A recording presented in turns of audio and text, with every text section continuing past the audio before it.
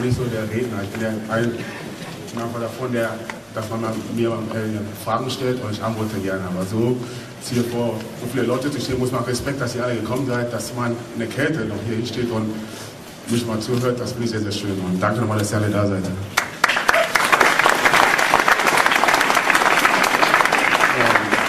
Ich meine, wer, wer, mich kennt und wer mich erlebt hat, weiß, ähm, dass ich ein fröhlicher Mensch bin, der auch Späße zu haben ist, der auch ab und zu mal Sachen macht, was lustig ist. Aber wenn es um so ein Thema geht wie heute, dann kann ich traurig sein, weil ich selbst auch sehr viel erlebt habe in meinem Leben, auch seit ich Fußball noch hier, seit ich in Deutschland lebe. Und es sind Sachen, was wirklich jetzt dagegen tun. Aber wichtig war nur, dass man mal was dagegen tut. Und äh, lustigerweise habe ich ja selbst drei Kinder und ich weiß selber, was meine Kinder äh, durchleben. Und ich habe Angst, dass meine Kinder die Sachen, was ich jetzt äh, erlebt habe, dass, auch, dass, auch, dass die irgendwann mal das durchleben.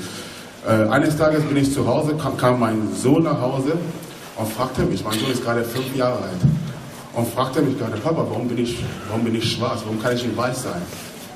Stellt mein Sohn mich so eine Frage und ich habe mich gefragt, was denn passiert im Kindergarten? Der geht noch zum Kindergarten, was denn passiert im Kindergarten? Wie kann ein Junge, der gerade fünf ist, mir so eine Frage stellen. Und wenn ich jetzt, ich sag, ich muss aber, ich war sehr traurig, einfach, dass der Kleine, der fünf ist, sowas fragt.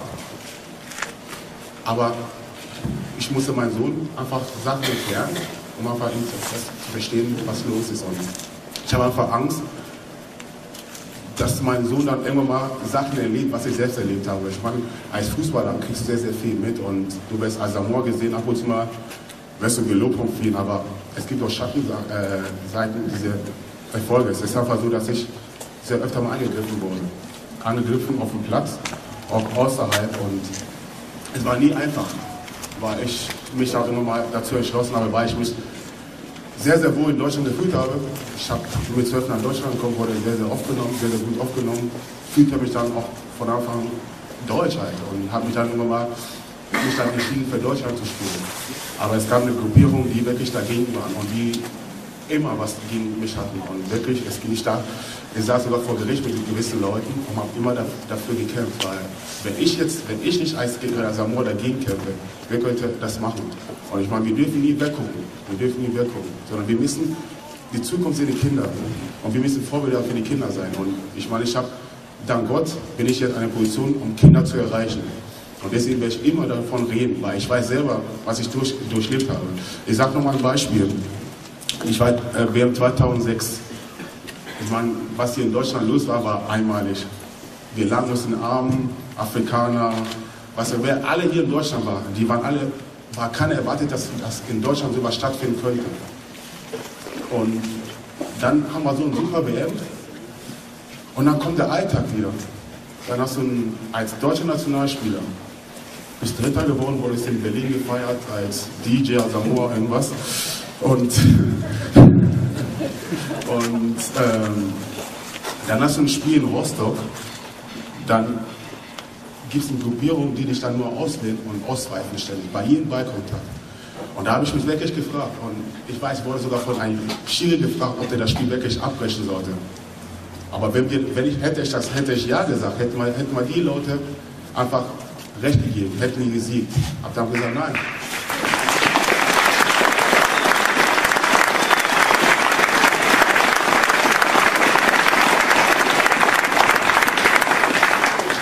Hab Nein gesagt und dazu habe ich dann noch das Tor getroffen, hab dann, äh, hab, hab, dann äh, noch drei Tore gemacht im Pokalspiel und wir haben das Spiel gewonnen.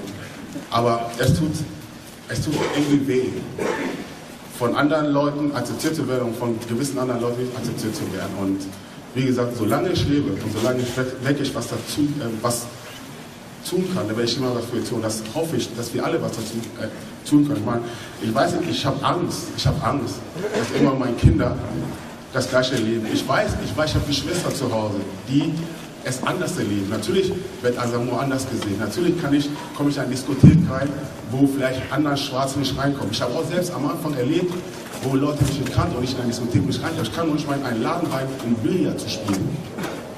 Aber sowas merkt man gar nicht. Als Asamoah kriegst du viel, Sachen entgegengebracht. Aber wie geht es meiner Schwester? Wie geht es meinen Freunden? Wie geht es den anderen Ausländern, die dann hier sind? Und das sind Sachen, wo wir alle was dazu tun können. Wir müssen, klar, wir Ausländer müssen auch diese Kultur akzeptieren, wo wir sind. Man muss auch die Sprache lernen, wenn man in Deutschland kommt. Aber trotzdem verlange ich einfach, dass man einfach uns den Respekt entgegenbringt, weil wir alle gleich sind. Und eines Tages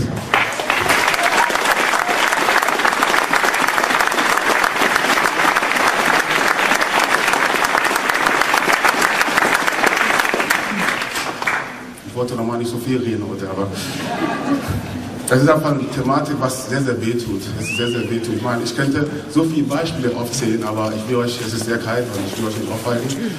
Aber ich hoffe, ich hoffe es, dass so viele Leute heute gekommen sind, zeigt dieses Interesse an dieser Thematik. Ich hoffe, dass wir alle was, irgendwas dazu tun können, um diese Kinder, unsere Kinder, die Kinder sind Zukunft für uns.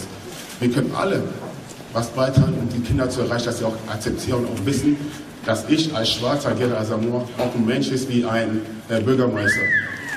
Und, oder?